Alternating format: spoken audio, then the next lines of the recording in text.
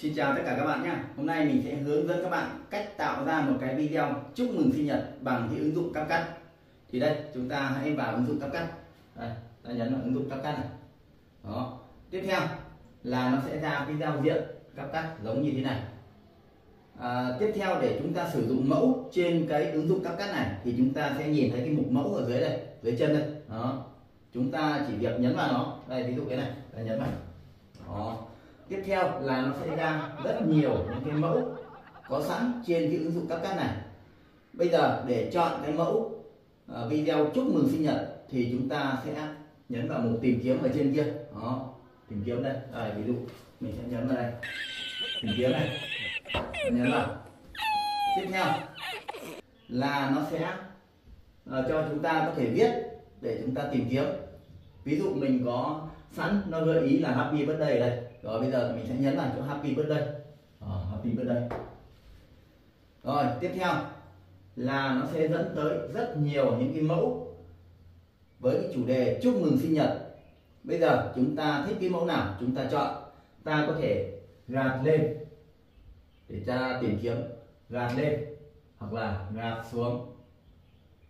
Gạt xuống. Đó ta tìm. Thấy cái mẫu nào đẹp chúng ta chỉ việc nhấn vào là xong ví dụ bây giờ mình thấy cái mẫu này đẹp này. Ta chỉ việc nhấn vào. Tiếp theo là nó sẽ ra một cái giao diện của cái mẫu này. Bây giờ muốn sử dụng mẫu thì ta sẽ nhấn vào cái mục sử dụng mẫu ở bên dưới. Đó đây. Sử dụng mẫu. Tiếp theo là nó sẽ ra một cái uh, khung video hoặc hình ảnh để chúng ta lựa chọn video hình ảnh của chúng ta ghép vào.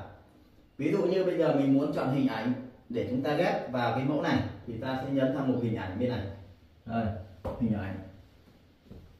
Rồi, tiếp theo là nó sẽ dẫn tới rất nhiều những cái bức ảnh có sẵn trên điện thoại của chúng ta. Bây giờ, nếu như chúng ta muốn chọn ảnh nào, thì ta nhấn vào. Ta có thể vuốt lên vuốt lên, hoặc vuốt xuống. Ví dụ như mình muốn ghép cái bức ảnh này vào cái mẫu đó. Bây giờ ta nhấn vào không tiếp theo là nó sẽ uh, ghép lên cái mẫu của chúng ta. Rồi bây giờ ta chỉ việc nhấn vào. Xem trước. À, ta nhấn vào chỗ xem trước. Xem trước.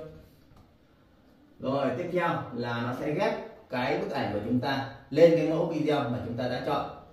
Bây giờ muốn xuất cái video này thì chúng ta sẽ nhìn thấy cái chữ xuất ở góc bên phải đây. Đó ví dụ cái này. Đó rồi. Bây giờ ta sẽ xuất cái video này. Và chúng ta không muốn có cái uh, hình mờ mờ cắt tắt ở bên góc phải thì chúng ta sẽ xuất không có hình mờ chỗ tiktok đây nhá. À, chỉ nhận chỗ này. Đó ta xuất không có hình mờ. Rồi. Bây giờ chúng ta chỉ cần chờ cho nó quay đủ 100% là ta đã có một cái video với chủ đề chúc mừng sinh nhật. Đó. Ờ, cảm ơn tất cả các bạn. Chúc tất cả các bạn thành công nhé.